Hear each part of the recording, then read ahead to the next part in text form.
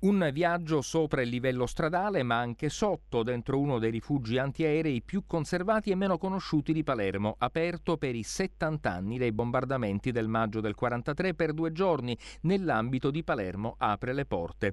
Per 70 anni vittima dell'oblio, questo luogo, il ricovero Gaetano d'Aita sotto il cortile della scuola Madre Teresa di Calcutta di via Maqueda, ha ospitato un percorso memoriale con pannelli fotografici e didattici a cura di Claudia Fucarino, con la consulenza di Attilio Albergoni.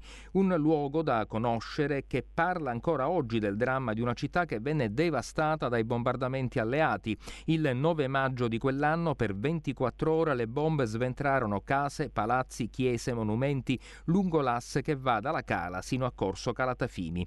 Domani ne parleremo ad Agorà con Attilio Albergoni, storico militare e autore di numerose pubblicazioni, con Giusto Catani, assessore del comune di Palermo e con la storica dell'arte Claudio Fucarino che lancia un appello. Ah, sicuramente dovremmo realizzare un museo memoriale, eh, raccogliere tutte le testimonianze delle persone che hanno vissuto in quel periodo, realizzare dei, una sezione video, una sezione audio, una sezione fotografica ecco, un po' più completa e riaprirla alla cittadinanza. È un museo che va aperto perché Palermo ancora possiede tantissime ferite della seconda guerra mondiale, per cui un museo, un museo del genere può solamente arricchire una città e soprattutto conservare una memoria storica di una città. A proposito di memoria, nei giorni scorsi questo rifugio è stato visitato per quelle due giornate in cui è stato aperto da molte persone anziane. Cos'è successo? Abbiamo avuto circa 1500 presenze e tantissime persone novantenni.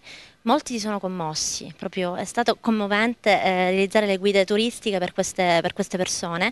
Ognuno di loro ha raccontato un pezzetto di storia vissuta. Ecco, noi la raccontavamo per quello che conosciamo, loro la raccontavano per quel che hanno vissuto.